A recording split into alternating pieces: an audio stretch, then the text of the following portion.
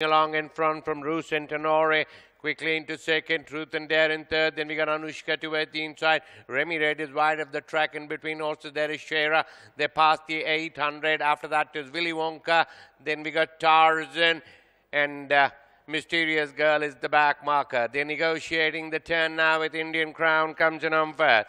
About two lengths in front of Rue St Honore is trying to make a forward move in second. Remy Red is in third. After that is Truth and Dare. But Indian Crown has ridden Hanson Hill. About a length and a half in front of Rue St Honore. Is trying to make a forward move on the outside. The rest are far away with Anushka is warming up in third. But Indian Crown in the last 100 meters. About two lengths in front of Rue St Honore is warming up on the outside. Indian Crown, Rue St Honore. Indian Crown, Rue St Honore. Rue St Honore may have got Indian Indian crown. Then we got Anushka Tarzan, Mysterious Girl, and Truth and Dare.